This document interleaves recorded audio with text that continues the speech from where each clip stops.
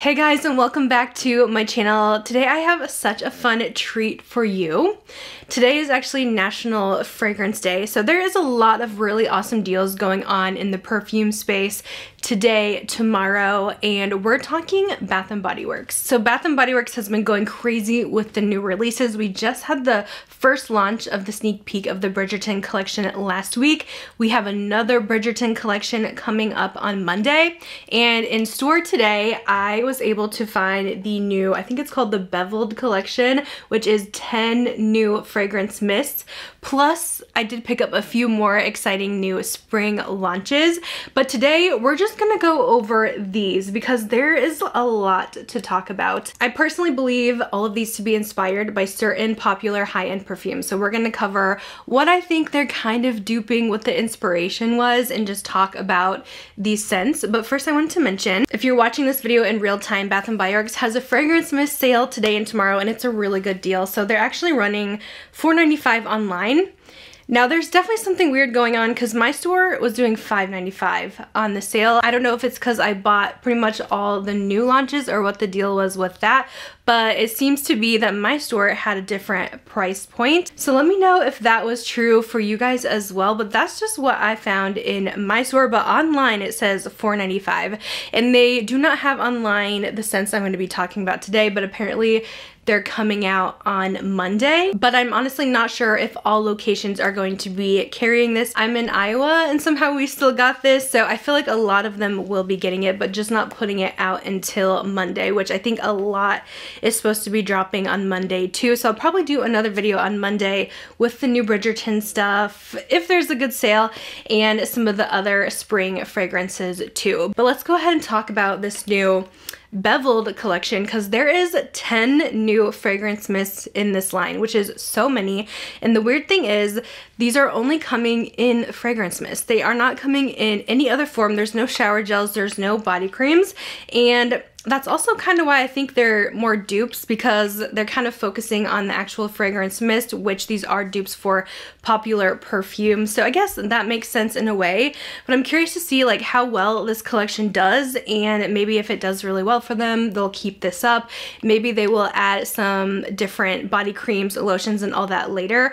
But I personally don't mind that it's only in fragrance mist because I find that to be what I buy the most when it comes to Bath & Body Works because honestly, it's fun to layer different lotions with the scents and sometimes you're going for a different vibe. Sometimes I don't know what I want for that day. So I'll just use the unscented lotion and then put my body mist, maybe layer a perfume with it. So these are great for layering, but I do find them to be really close to some high-end perfumes, which seems to be such the trend right now. You guys know I just talked about like the new finery dupes as well. A lot of people just don't want to spend hundreds of dollars on perfume these days. So I just find that a lot of brands are making different dupes dupes or inspired by perfumes. These might not be 100% spot on dupes, but I definitely see where some inspiration comes from. So let's go over these new scents. The first two I want to talk about here, I feel like these are the ones that people are most intrigued about, especially if you're a follower of mine. You know we love gourmands on this channel. We love vanillas. So we're going to talk about, let's do the Viva Vanilla first. This was the first one that I smelled in store and immediately I'm like,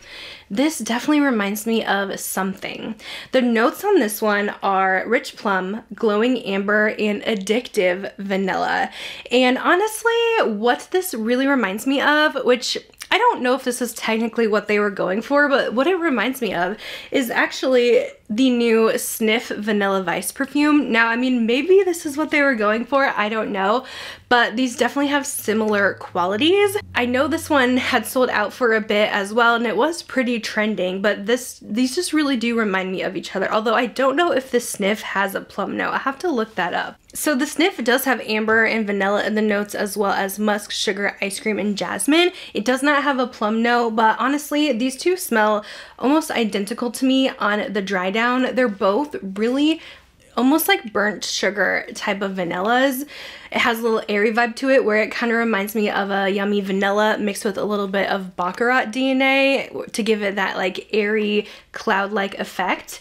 And it has like a slightly woody undertone as well, but It smells so good. I've been loving Vanilla Vice and that's what this really reminded me of off the bat. Side note, I wanted to add, this also smells like Ariana Grande's Mod Vanilla, which also has a plum note.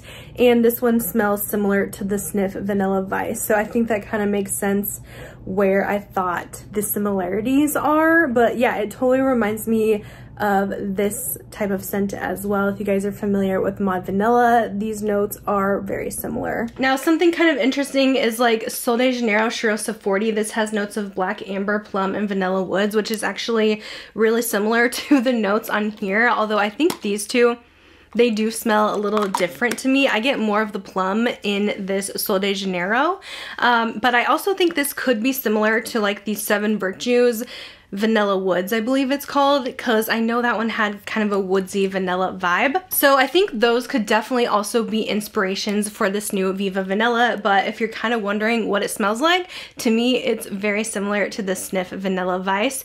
And I will tell you, this lasts. This one lasts. I will not say all of them do. I did not completely test them all for longevity because I just got these today, but this one it's amazing. I can still smell it on me from when I first sprayed it earlier today in store and it has really nice longevity. So overall, this vanilla is such a winner for me. I love it. It does not really smell like any of the other vanillas Bath & Body Works has done. I would say maybe it's closest to the Cozy Vanilla Bourbon, but I still think they're completely different scents. That's just my opinion though, but I personally think it's something new and exciting and it's seriously a 10 out of 10 for me. The price on these are $18.95, so unfortunately rewards do not work on them, but yes, love, love, love the Bath & Body Works Viva Vanilla, and to me it's similar to the Snif Vanilla Vice. Let me know if you guys have smelled these and if you agree. Also let me know your opinions down below because we might have totally different tastes, totally different opinions, and I love hearing what you guys think too. The next one we have is the O Cherry. I was so surprised they were doing another cherry fragrance so soon after Sweetheart Cherry, and for some reason I feel like my store had the most of this one, so I don't know if they really were expecting this to be such a top hit. The notes on this one are black cherry, sheer magnolia, and tonka bean. So of course, the most iconic cherry perfume that is always duped is Tom Ford's Lost Cherry. I would say that's definitely what this is most similar to, but it's it's not quite there for me. It's not quite as yummy as the Tom Ford. I think this one's definitely missing that almond note that Tom Ford has. To be honest, I prefer the Sweetheart Cherry. I think that one smells even yummier. This one's more like a pure cherry with a hint of floral in the background.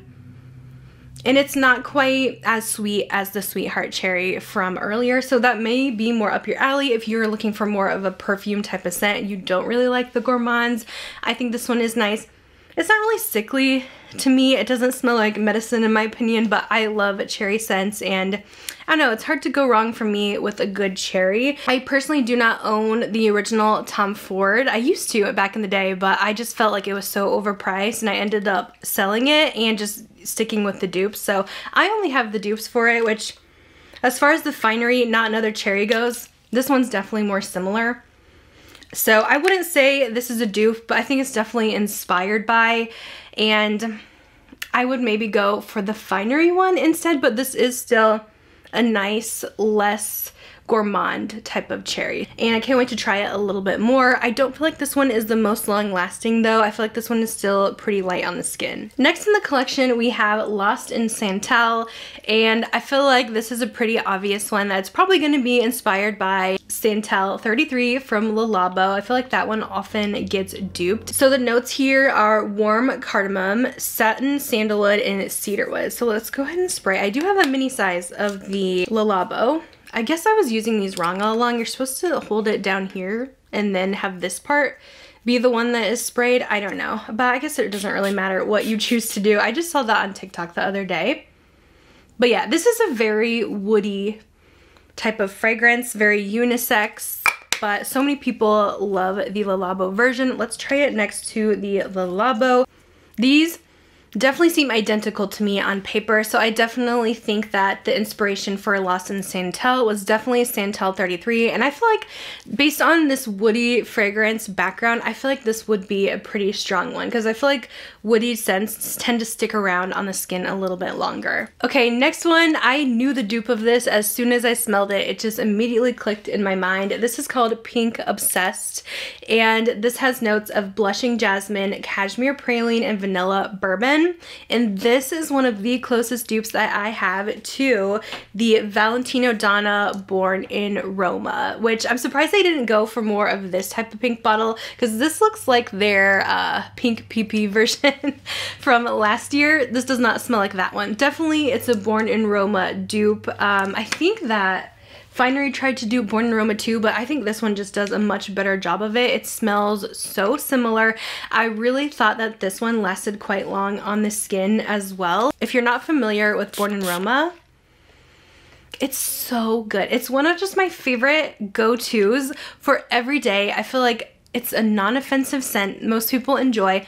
It's a fruity, fresh, sweet type of perfume perfect for spring and summer, such a compliment getter. So this is definitely one I think worth picking up. I'm so excited to have a really close dupe to Valentino because yeah, I feel like no one's been able to really dupe this one that I've tried personally and this one really nails it right on the head. So really love this Pink Obsessed. Highly recommend it if you're looking for just a nice everyday, yummy, fresh, fruity fragrance mist. It is so, so good. The next one I have here, this is called Getaway Soiree. This definitely smells familiar.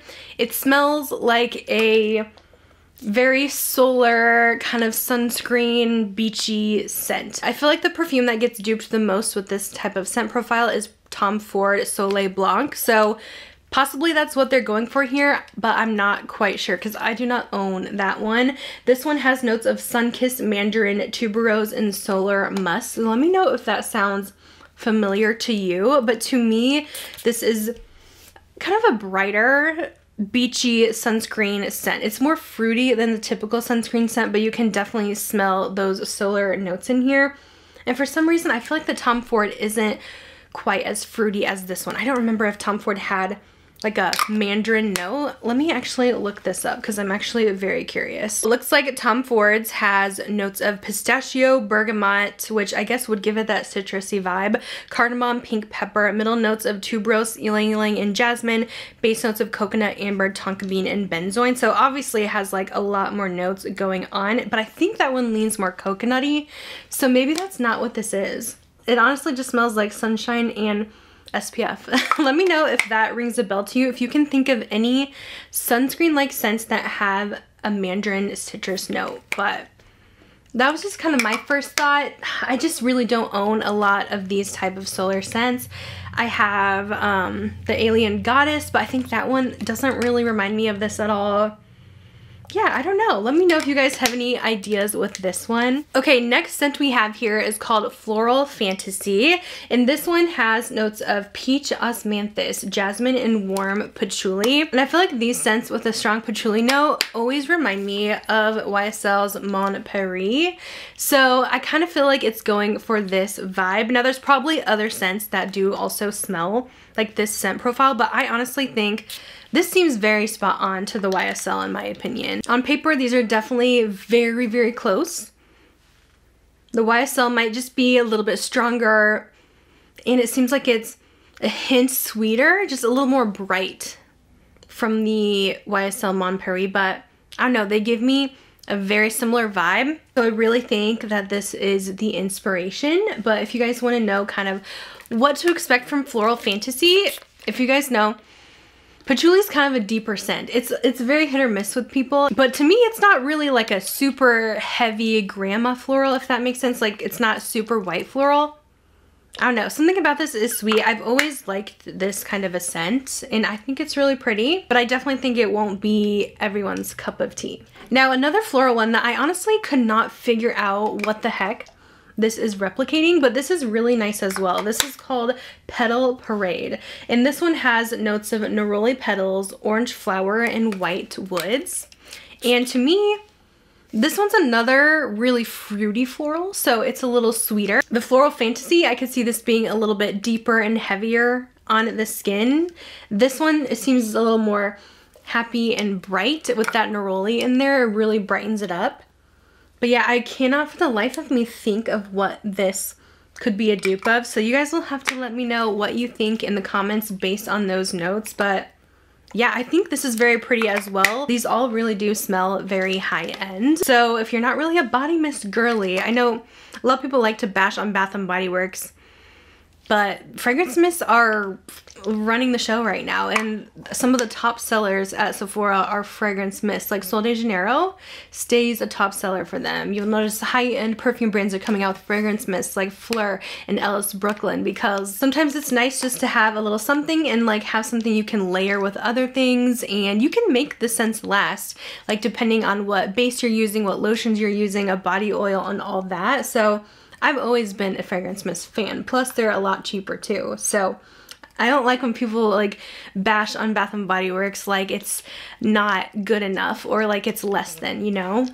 But yeah, I cannot I cannot think of what this is. It does smell a little familiar, but it is a really nice fruity floral perfume. The next one in the line, this one is If You Musk, and this has very, very similar notes to a popular discontinued Bath & Body Works scent called Kaleidoscope. So when I looked up Kaleidoscope here, it says that it has notes of iris, cedarwood, and pink pepper. And this new If You Musk has notes of iris, pink pepper, and airy musk. So it doesn't have the cedarwood, but it has the airy musk note. But I have never owned Kaleidoscope, so I cannot tell you if it is a dupe or not. Let me know in the comments if you know if you've smelled both of them and then we can kind of figure it out because I'm very curious. But Kaleidoscope has always been said to be a dupe of Glossier's You perfume, which is like a true musk scent and it kind of smells different on everyone. I love a good clean musk scent and this is beautiful. And I definitely could see that it might be inspired by the Glossier. Yeah, it does. It does smell like that. It has that kind of musky woodiness that the Glossier has. So I think honestly this could be the same thing as Kaleidoscope because I'm getting some type of woody note in here for sure. But it is really nice. If you guys like more of a clean, unisex, slightly musk, a little woody type of scent, and this is beautiful. It's like your skin, but better. And I I would say it is comparable to the Glossier You for sure. Next scent, this is another one I could not figure out. This is On the Horizon. And this one again seems more of a aquatic scent. I'm not great with aquatic perfumes because I just don't own a whole lot of them. It's not really one that I buy a lot, but this has notes of watery bergamot, blue lotus, and driftwood moss. It's definitely unisex. I'm getting kind of like a herbal, fresh aquatic, almost cologne-like fragrance out of this one. It's probably not one that I think I would really wear a whole lot, but I'm definitely getting a citrus note in here from that bergamot and like a fresh oceanside type of scent with this. All right, last but not least, we have Covered in Roses, another pretty pink bottle. This one has notes of ruby berries, sugared rose buds, and blush amber. And immediately this one completely reminds me of Delina. So I really think they were going for Delina. I mean, Delina's kind of iconic. And I feel like they did a good job with it. I only own the Delina exclusive, which is a slightly sweeter version of Delina. Delina is definitely more of that sweet rose. You definitely get a lot of that rose note, so you have to be a fan of rose, but I don't mind rose when it has sweetness to it. I still prefer like the exclusive version because I feel like this one's even sweeter and it reminds me of like rose and vanilla. Um, and this one just has like a slight sweetness to it. It is such a beautiful scent and I think they, they really did such a good job replicating Delina. So that is my thoughts on this new beveled collection and what I think some of the dupes are. Of course, these might not be 100%. That is just kind of my opinions and thoughts and hopefully this was helpful if you were thinking about picking any of these up. I'm so sorry if you cannot get these today because I mean if you can snag them because it's such a great price. But definitely stay tuned for Monday to see if it is coming to other stores and maybe it'll be on online too. I'm not honestly sure if it is coming online or not. But again, I do plan to do a video probably Monday, maybe Tuesday, depending, going over the new Bridgerton line. And also I have more new fragrance mist to talk about, including the new Bourbon Strawberry. I have the new Apple, the new Lavender, and Dressed in White. So I will talk about those later. I just kind of wanted to split this video up so it wasn't too much at once. I really wanted to focus on this new beveled collection because I'm really excited about it. You guys know I love a good perfume dupe and especially when my favorite brand Bath & Body Works is doing it. I mean, we know Bath & Body Works has done scents before that smell like high-end perfumes, but I think they definitely made it more obvious with this whole line. Let me know your thoughts down below if you've tried anything. Let me know if you figured out some of the other dupes that I couldn't. And I'll see you in my next video. Bye guys.